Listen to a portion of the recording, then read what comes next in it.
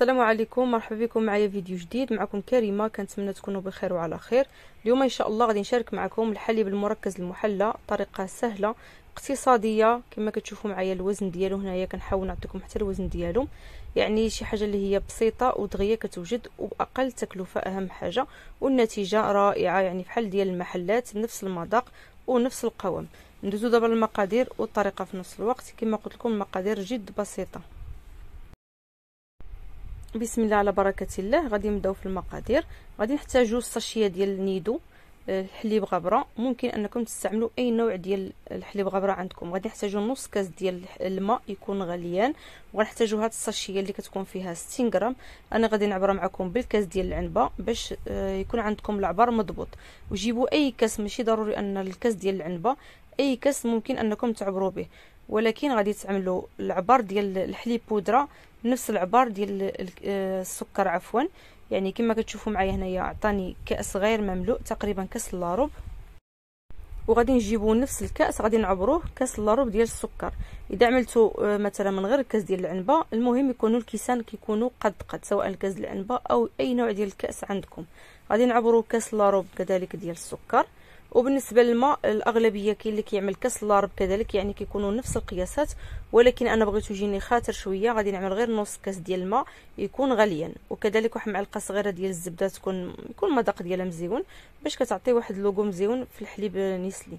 المهم غادي ندوزو الطريقة هادو من المكونات يعني ثلاثة أربعة المكونات اللي هما ساهلين وبساطين. غادي نجيبو الخلاط الكهربائي غادي نوضع الماء عفوا غادي نوضع السكر كذلك الحليب بودرة. وغادي نضيفو معلقة صغيرة ديال الزبدة وغادي نطحنوا كلشي ضروري الحليب الماء عفوا كنقول غير الحليب ما عرفتش علاش. ضروري الماء يكون غليان ما يكونش بارد. صافي كنطحن مزيان في, في مولينكس أو في أي خلاط عندكم. أهم حاجة أنه خصو يتطحن مزيان كما كتشوفوا في الأول ضروري غادي يكون سائل بحال هذا الشكل هذا. غادي نجيب واحد الكسرونة غادي نوضع فيها هذا الحليب المركز المحلى. غادي نوضعو على النار تكون آه، مهيلة ومع التحرك واحد آه، جوج دقائق ما تغفلوش عليها ضروري.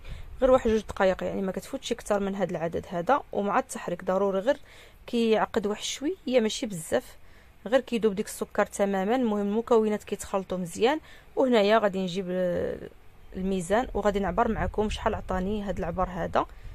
يعني تقريبا بحال الوزن ديال الوزن ديال العلبة كتكون فيها 300 وشي حاجة د الغرام. وهنايا كما لاحظتوا معايا عطاتني 215 غرام. يعني إذا ضوبلتوا المقادير غادي تعطيكم كمية أكثر من ديال العلبة وفي نفس الوقت الثمن أقل. كما كتشوفوا النتيجة رائعة والمذاق كما هو يعني ديال المحلات الكبرى. هنايا غادي يبان لكم بلي انه باقي خفيف لأن باقي سخون. من الأحسن أنكم تخليوه تقريبا واحد ساعة ولا ساعة ونص كيعقد وكيرجع يعني بحال اللي كيتباع ديال المحلات. هنايا أنا كنت مزروبة غادي نخدم به. خليته تقريبا غير واحد نصف ساعة كما كتشوفوا. هنايا بدا كيعقد كتعملوه غير في الثلاجه من تحت ما كتعملوش في المجمد. كتغطيو له الوجه ديالو وكتخليوه ما بين ساعة أو ساعة ونص. ممكن أنه يبقى لكم حتى الأسبوع في الثلاجه ما كيوقع له حتى حاجة. أهم حاجة أنكم تغطيوه مزيان بالبلاستيك الغذائي أو ممكن أنكم تعملوه في العلبة من الأحسن وتغطيوها مزيان تخليوها في الثلاجه هنا غادي نكون وصلنا آخر الفيديو وإلى اللقاء مع وصفات أخرى إن شاء الله. غادي ننزل لكم واحد واحد لاكلاص اللي هو ساهل بسيط.